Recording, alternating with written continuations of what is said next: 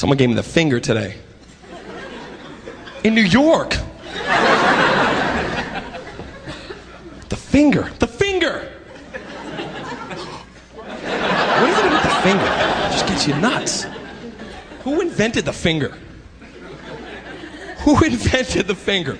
Who was the first person to get so pissed at someone they were like, you know what? And it's like, you just make me. ah!" Just look at my finger and you'll know, man.